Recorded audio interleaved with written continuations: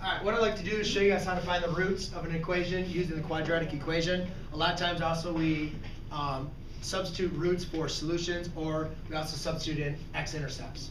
So what I did was I gave you guys this problem and we came up with three different answers.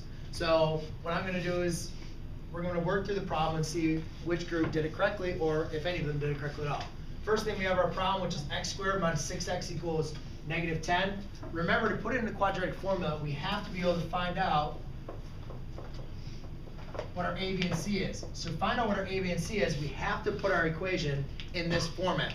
ax squared plus bx plus c. Right now, our equation is not in that form. So the first thing I'm gonna do, I'm gonna transfer this to um, ax squared plus bx plus c equals c equals zero form.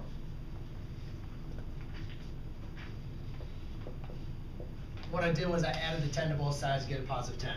From here, I can now say that a equals one, b equals negative six, and c equals ten.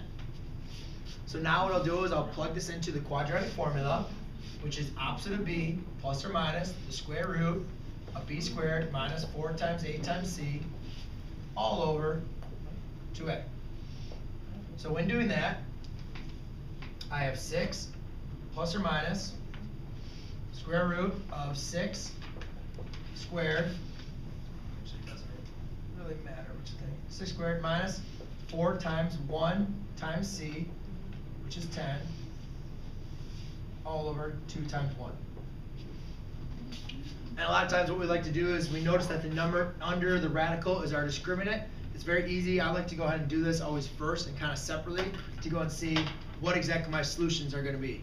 Um, so if I did my discriminant, I would have thirty-six minus forty. And thirty-six minus forty is a negative two. And if you guys can remember,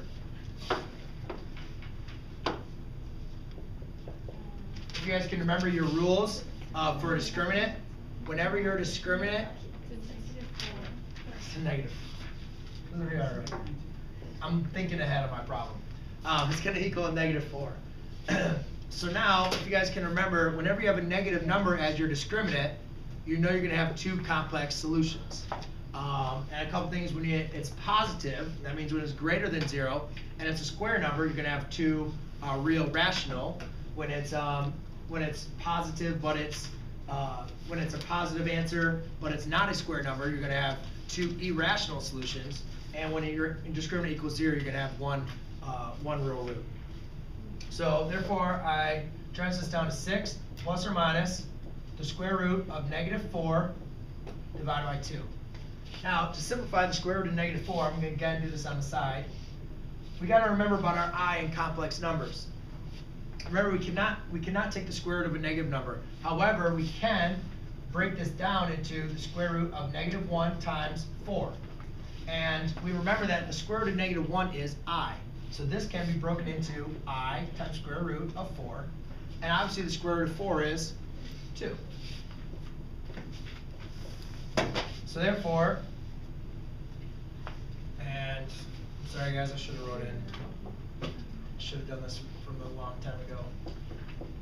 Remember that x is gonna equal, these are our roots, these are our solutions, these are x-intercepts, so our value of x equals this equation.